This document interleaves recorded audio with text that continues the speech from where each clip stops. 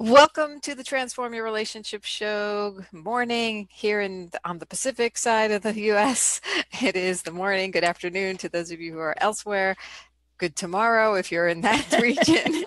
I'm Laura Rubinstein, and I'm here with the awesome and fabulous Dr. Rhoberta Shaler. Hi, Rhoberta.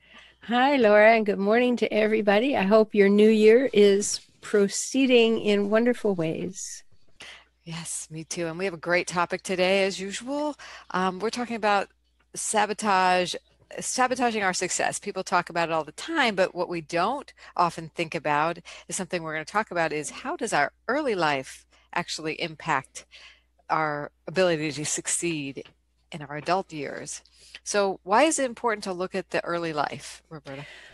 Well, for so many of us, well, not so many of us, all of us, we don't have any memory you know, of the first year of our life. It's all sensory memory and we don't pull it up. We can't make a visual picture of it. And sometimes that may be as long as three years old before you have your first memory. So there was a lot of things that got installed. You know, if you think of, of your life as a program, there was programming being installed. There were a few viruses, there were a worm or two, you know, little malware. And we have to be aware of that using that metaphor that when it was installed, then we have no idea that it's driving some of the things that we think are just us and the way we are.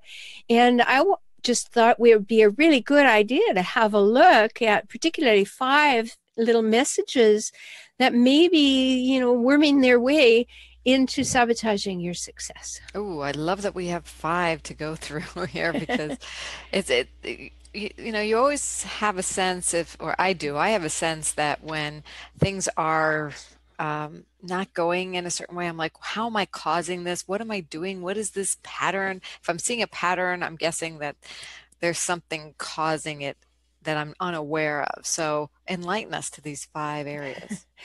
yeah, and and and you're right. And uh, what I want to be really clear about for all of us is not about blame. It's about discovery.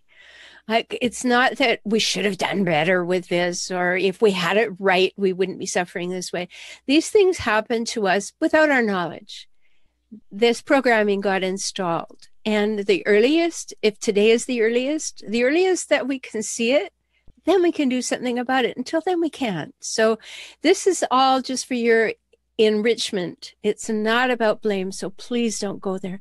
So, if you had a difficult parent, or you had a parent who was unloving, or maybe a little neglectful, or maybe didn't really want to be a parent or was having some difficulties with substance or alcohol abuse or whatever, this is going to be much more obvious. But people with emotional deficits also raising children will put these things into you. So the first one is that maybe deep down, and I'm going to invite everybody to sit with and reflect on these things because it's not a quick, oh, yeah, that happened to me. It may take a little more thought. But the first one is that you may not believe that anyone can really love you. And, you know, certainly the surface, the top of the head, this says, oh, well, of course, you know, I, I'm lovable because that's the right answer. But it's that sitting in the silence and finding out, do I really believe someone can love me? Because even when people say they do and they'll cross rings of fire to prove it if you have that in your your unconscious programming your subconscious programming you're going to be suspect of everybody. You're not really going to believe that they can love you. Does that have any resonance? Well yeah you know i I, out of all the work I've done and kind of introspection, I always have, I feel like uh, I have an unanswerable question when I'm in a relationship is, am I lovable? Mm-hmm. I don't know. I don't think there was a parent that meaningful, you know, purposefully put that in me, um, or how I got that. It also might be a cultural thing, because mm-hmm. uh, I find a lot of people have kind of this word. There's a combination of not feeling good enough and not feeling lovable. Mm-hmm. That always seems to be the core um, thoughts. I don't know if anybody else can relate to this, but that we come back to, I see it in my hypnosis clients over and over again. And having the awareness is really powerful and we can do something about it. But I can that yes, it's always it always seems to be there or come back to that when I'm in my lowest states of, you know, feeling bad about myself or something. Yeah, and I think it's very common. I think, you know, everybody who's thinking that they may be, oh, really, I didn't know anybody knew that about me. It's very, very common. And it's not like someone did it on purpose to us. They were doing the best they could. They did what they know to do. They did what they could do from their own level of emotional development. So it's not about looking for blame for yourself or your parents or anybody else. It's just and right now, as an adult, looking in and saying, do I have a deep down feeling that maybe I don't believe anybody can love me? And, you know, that helps you develop a real tough exterior and the problem is that that tough exterior then prevents you from having emotional intimacy. So that's number one. And number two is that deep down again, you don't trust anyone even when you want to. Like, if nobody, if I don't believe anybody really loves me, then how can I really believe and trust anybody? Now, for myself, I've I was abused, and I was from a hijackal family. I had a lot of a lot of issues from my family, and you know, I, that was something that I really had to work on because you start second guessing yourself all the time. Am I making a mistake?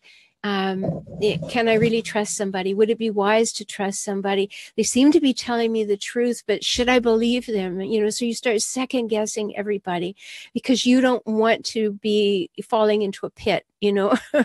so did they lie to me? Um, have they always lied to me? Am I stupid? Am I believing people who lie to me? And you ask yourself all these questions because way back there, you learned that you couldn't trust the giants you know those people when you were little that you had to trust to keep you alive and and you learned that maybe they weren't so trustworthy and it, it's just become part of your fabric. And for us to be able to see that now and say you know i really have to calibrate that. How do i know when i can trust someone now as an adult? Oh that's challenging if you've never had the experience of trusting someone, having somebody to trust. And plus, I would see again, if if you're feeling like you have this tough exterior, that's probably underneath it, not trusting anyone. Mm-hmm. Because the only person that you can trust is yourself, and you're not so sure about that sometimes. But you know, at least you know what's going on within you, so you you trust that level. But if you want emotional intimacy, and who doesn't? I mean, there are very few people who want to be a recluse and have no people in their life who really know who they are and have their best interest at heart. But if you've had uh, alienating experiences in your early life that allow you to have that question can I trust anybody? Um, you just can't have the intimacy that you want. And and you'll second guess all the time like when the person doesn't call when they're supposed to call or they you know, um, what would be a good example in the digital world? Oh, they said they were going to bed early, and then you go on Facebook and find that they were posting late at night, and you're like, can I trust them? This sounds like a whole show topic in and of itself how to trust people, how to know how to trust people. We could circle back on this again. Huge, huge, huge, huge. Because if we can't trust other people, and we can't trust ourselves to know when we can trust other people. We have such a compounded problem that it's really worth figuring it out. Yeah. Huge topic. Okay, so that's number two. Yeah, number three is that you will have trouble with intimacy. And I mean that real intimacy where you feel close and cherished and known and respected, and you can relax because you're feeling safe. And you know i was i was talking about in fact i did a facebook live on this the other day that we have in order to be safe we have to have boundaries. And when when we don't have boundaries our intimacy levels become very suspect and we question ourselves a lot. So to be able to have um, a relationship where you can let someone in and be vulnerable is what you want. However, if you've been with hijackals, those toxic, difficult, and disturbing people in life, or you were raised by them, that's a real question for you. So, in order to um, have intimacy at all, you have to be able to open yourself. And if you happen to attract another hijackal in your life, what happens is that you become vulnerable and you think that you're going to share something with your hijackal partner or your difficult partner or, whomever you have and you think it's safe and you wait for those wonderful moments where you feel really close and and together and bonded and everything and then you share something with them maybe something simple like you know i don't think i've ever gotten over my fear of the dark and your partner says oh honey that's too bad you know when did that start they may ask some questions but if you're with a very difficult person what they do with your vulnerabilities is they weaponize them. So you'll be in a completely different setting somewhere. And preferably, if it's a hijackal, you'll be with other people. And they'll say, Well, how could we trust you with that? You're even afraid of the dark. And they'll just weaponize and expose your intimacies. So it becomes very, very difficult to feel that you can be intimate and allow someone to get close and really be able to be vulnerable with them. So you become quite wary. Yeah. Or you keep stepping into that trap over and over again and thinking it's you, right? Right. And right. something is really wrong, and that affirms that that first belief. Like, I, how could somebody love me? I'm something's obviously wrong with me, right? So it can become a vicious cycle. Yeah, and of course, obviously, just as you're pointing out, Laura, all these things are intimately related. Because if you don't believe you can be loved and you don't believe you can trust anyone, how are you possibly going to allow for intimacy? And that's what you're longing for. So you've got to set up right there that you're longing for intimacy and you're afraid of intimacy. That's an awful place to be, right? And, you know, my Facebook groups, um, for people who are with these hijackals, they often say, like, when do I learn to trust again? How do I learn? What I'm afraid to go on a date. Can I can I trust anything another human being says? And that's why I have my recovery programs because you have to redo your whole mindset around what's possible and recalibrate that there are healthier people in the world than the ones you've been with or were raised by. And this is how they behave. Mm you know it, it's difficult and it's sad but it's doable and that's the that's the hope that i want to bring this morning to our conversation is the reason i want to bring out these ideas and that you were willing to talk with me about this this morning is because these could be like way down under the deepest spaces in your foundation and they're putting up weeds all the time and you don't notice how it's cracking you hmm. And so it's important to spend some time some quiet time and say are these things true for me? And if they are just know that getting help is what you need because don't go on another moment with those kinds of feelings that are make you feel inadequate make you feel unsafe um, not not necessary. And you need to get your chooser in better order or your picker in better order so that you can be with other people who won't treat you poorly. And I too want to give hope. Um, first of all, you have a great website for relationship help that has blogs. It has you know things they can sign up for they can which will tell them how they can get access to that facebook group you talked about um, you have your book hijackals.com you there are tons of resources so you don't have to go it alone and that's what i love about once you're here if you you know there's something you want to shift don't you don't have to do it alone and I was one who had a picker that was off, not necessarily because of a hijackal background, but because of whatever programming I got in early life and sure. and made it mean and culturally or whatever um, went. But um, it is process it is a process and there's practices that you can build like the muscle up of of health healthy muscles i guess i don't know mm-hmm. what to mm-hmm. call, call them inner interpersonal I like to, I don't know if that's a real world word, but I use it interpersonal relationship with yourself to grow that. And um, it's step by step. So, so, you know, it, it's not going to happen like a light switch and that's okay. Yeah. you didn't get here like a light switch. Um, but it's a beautiful journey. well, it really, is because you really feel your own power and mm-hmm. you know the, we've gone what through three four three of your telltale signs of you know has your early life impacted your your success and um, as you come become aware it is very powerful we have choices. Yeah, it is. And you brought up an important thing. You know, I talk about hijackals all the time, but you know, maybe you had preoccupied parents, or maybe you you had parents who both had to work in order to put food on the table, or whatever happened to you. It's not about you know that it was it was about the blame like i said earlier it's about acknowledgement like okay I have that deep inside me. It doesn't matter where it came from. You don't have to spend hours figuring that out. In fact, often with my clients, you know, we touch on it, but it doesn't matter. It's here now. We've got to decide and choose differently and move forward. Um, but they're worth thinking about because they will sabotage your success. Your success about how you feel about yourself, about other people, about the things you take on in life, the ability that you have to dream at a size, maybe a size larger than you are right now, and you may think it's unattainable. If you don't feel like anybody can love you, do you think they're going to love your ideas?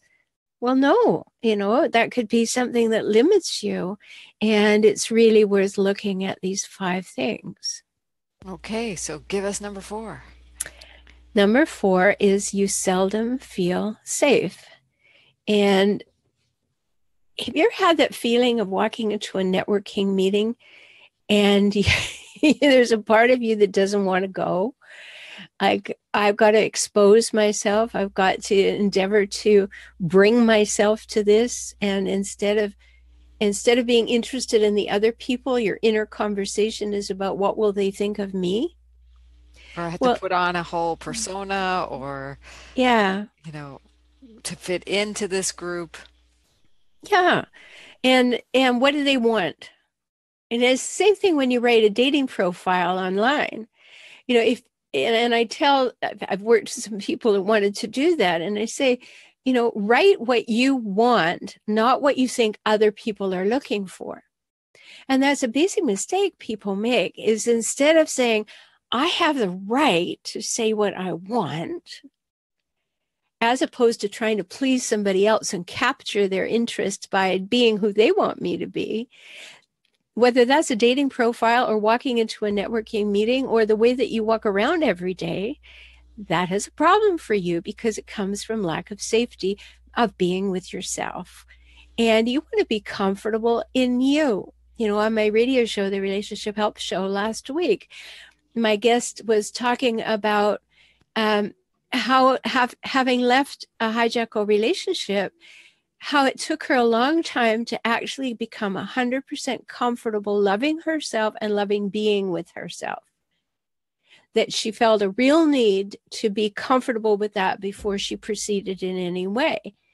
And I think that that's a wise, wise thing to do because if you haven't had that deep safety within yourself, with yourself, and you go looking for it out there, you're not going to find it because you're taking that lack of safety with you.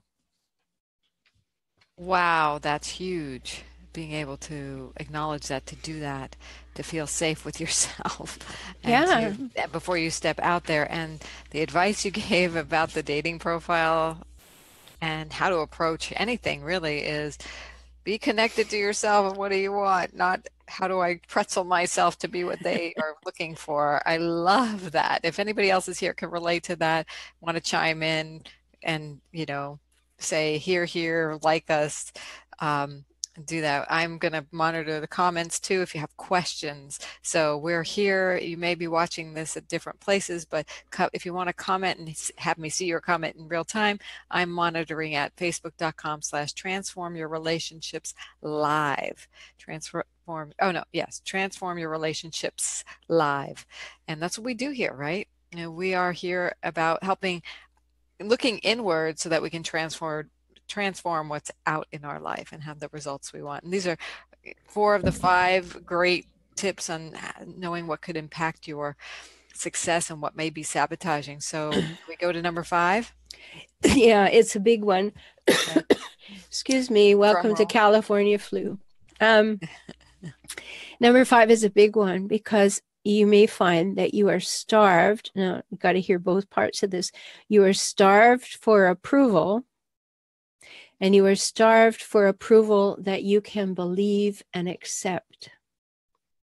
So it's not just the approval, but it's getting yourself to believe that that person actually, you can trust that person is telling you the truth. and so that that's a really big thing because when you're with a difficult person or you're raised by a difficult person everything is a competition because they have to win. So they're not going to approve of you. They're never going to tell you you did a good job. They're going to look at your faults. You know the old thing about you bring home a report card that's all a pluses and you have one a. A hijackal parent says what happened there to that one a? What's wrong with you?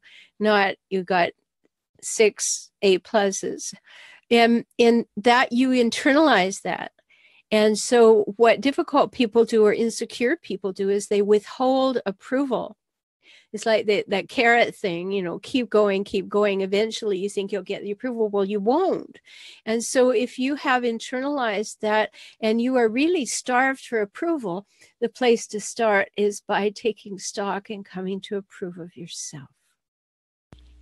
Mm-hmm. and that's not easy a, it means you've got to spend time by yourself, and many people are rushing around doing anything to avoid spending time by themselves. And secondly, you have to be willing to say, I like that about myself. I'm happy with that about myself. Or in this piece, you know, I don't care for that. Here's what I would prefer. And then you make those changes. But start by approving of yourself.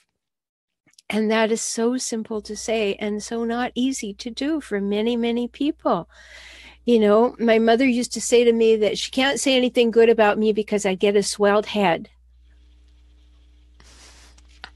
Wow. Oh, okay. Um, can you imagine what not ever saying anything good about me did to my head? You know, if it swelled when you said it, did it shrink when you don't? well, certainly the sense of who I am shrank and that could have happened to a lot of people. And, you know, there is another one, Laura, that I'll, I'll just throw in here, even though we're giving five. Here's a bonus. Um, okay. If you, and this is for people who have been with a hijackal parent, and you know, somebody who is very difficult and having some trouble and they're crazy making and they've got some personality traits that are not healthy, but you will be constantly invalidated by a hijackal parent. They will always tell you you're not good enough. They'll always be looking for the fault. They'll always be blaming you for everything and they'll always be in competition with you. So, whether you had a hijackal parent or not, or you just had somebody who was very insecure or maybe a little bit absent or neglectful or whatever, these are the messages that you would have received or could have received. And my invitation in bringing them to our people today, Laura, is just to say, have a look. Could these, well, now six things, have been part of your makeup? And it's been that way so long that you don't really realize how deeply held these are and how they're making their way through and causing the sabotage that we spoke about at the beginning. These are really golden nuggets. And it's a step-by-step process. I really like your advice in number five about start approving of yourself. And like you said, it's it's not always easy. It's simple, but it's not always easy. So find something really benign you can approve of. You know, is there yeah. something? well, you like could, the color of your eyes. Exactly. Start by looking in the mirror and focus not on what you don't like, but on what you do. you know, and that is a practice. I mean. Yeah and and one of the things that in hypnosis I encourage clients to do, um, and give them kind of this uh, post hypnotic suggestion to, which is what I'm giving you right now, is when you catch yourself thinking something disapproving of yourself, see how quickly you can turn your thought to something that you can approve. Like even if you're asking just ask yourself a, a, question well is there something i can approve of myself of right now? Oh yeah my eyes. I like my eyes. They're clear and they're they work you know? I see. Yeah and and that's such good advice because that's how we change things the tiny little changes that we choose. Like this is habitual i choose that and it may be just a six degree move in another direction but I am powerful and I can choose to make that six degree turn. I may have to practice a little bit and I may have to forgive myself for falling back a few times, but I'm moving forward. You know, I call that the self improvement samba two steps forward, one step back. You know, I like um, to think of a little baby uh, learning to walk. It's like you don't know how to do this stuff yet. You don't know how to walk yet in this approval and and self-love and um, just trying to look back at the in the believing and trusting arena. This is all things we haven't learned yet. Uh, we learned the opposite so we have to unlearn and then relearn. And so think about a baby when they've never walked before right? They see these mm-hmm. giants walking so there's role models and that's that's very helpful. Plus their bodies are growing and they're getting muscles. We have to get muscles too. But when that baby you know is trying to get up and plops right back down because doesn't have the muscle or the know-how or balance yet. You don't say stupid baby you know? That's right. you, will never you walk. You just stay down there. And you say good job. Just for trying just for thinking just for being you know wanting to. And having wanting it, to yeah having it in your consciousness that it could be different I could be an upright thing on two legs. Oh, good. oh, it's so much fun. Yeah. So if we could play with ourselves through this process, it makes it way more um, fun. It makes it more inviting, enticing to do. Um, so uh, it doesn't have to be so serious, is, is what I'm saying. It is very serious. But at the same time, I know for me, I'm much more likely to to do something and to grow myself if I can make it fun, lighter, and at least trick myself into thinking it's or have a perspective. Trick is not a great word, but have a perspective that hey, I can do this. It's not going to be like trudging through mud on a cold day, you know. it's going to yeah. be more like skipping in the park and twirling around and stumbling maybe and laughing at that and whatever. So Mm-hmm. I like and think that. about life as being fraught with possibilities. You know, mm-hmm. it could be different. I could think about it differently. It is a possibility, and until you make it uh, an actuality, it's a great mindset to think, well, I could do that. And that's what I'd like to move towards. So let me take one step towards that. And your baby image is great because you may only get one step today. and you're going to wobble a bunch and you might fall back down on that poopy diaper. yeah. And it's okay. It's just what it is, you know. It's like what are you going to do? You're going to be a baby. Right. You're going to learn to walk. It's going to be good. There's there's just if you can have that innocence and curiosity, um, I'd like to leave our our time here on that and because, you know, there's so much we've been through and but there's so much freedom and success awaiting and now that we have awareness we can do something about it. So. That's right. It's all about awareness and opening your mind to, oh, maybe this is something I could think about and it has some meaning for me. And that's why we brought you these five that turned into six things today. so we wish you a successful week, um, a positive week filled with possibilities. If you have questions, you can go to forrelationshiphelp.com for Dr. Rhoberta's awesome wisdom. You can go to transformtoday.com for to reach me for anything hypnosis or marketing. Um, these, like you said, going to a networking meeting and preparing yourself, you have to have the mindset that's empowering to attract success. So let's get you there and then we'll grow your brand from there. Yeah, and that and have that brand be something that starts with here's who I am and I know I chose this person. I am not on autopilot. I'm not running on old programming. I've brought up these questions, I've sat with them, and now I know, yeah, you know, I'm afraid that I can't even believe it when I do get approval. Okay, if I understand that, then let's take that apart And wouldn't it be wonderful to be able to take in when someone says, Wow, you do that really well, and you re- resonated completely with, Yes, I do. Thank you for the validation, right? Instead of in. saying, Well, if you really knew who I was, you wouldn't say that. Yeah, I love it. All right. We will be back in two weeks with our next show um, as we head into this new year. So thanks for being with us. Bye for now. Bye bye. Talk soon.